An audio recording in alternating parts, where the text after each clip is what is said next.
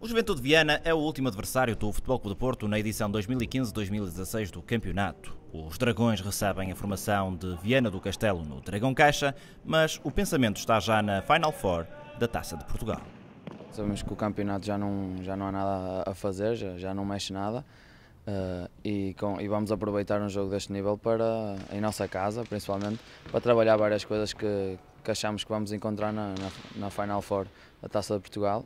E já como o da semana passada foi um jogo importante para isso, penso que este continua a ser o, o mesmo.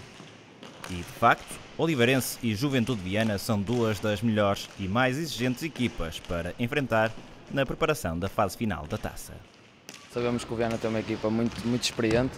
Passámos um mau bocado lá na primeira volta, uh, tivemos muitas bolas paradas a, a favor deles, muitos, muitos, muitas infelicidades nossas também. Uh, chegámos ao fim, conseguimos dar a volta e, e, é com esse intuito que, que queremos jogar cá. Sabemos que o, o, que vamos encontrar na taça temos a certeza do que, do que é e vamos tentar levar este jogo para, para esse nível e para, para esse espírito de sacrifício que vamos ter que, que, vamos ter que, que exercer nesse jogo.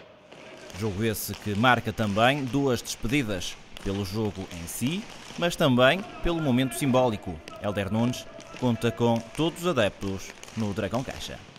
Sabemos que os nossos adeptos estão sempre connosco e acho que, que deviam comparecer em, em, grande massa adepta para, principalmente por ser a despedida, do, neste caso do, do Edo e, e do Renato, que para mim que me acolheram foram, são uns exemplos para mim e acho que são uns ícones do Porto.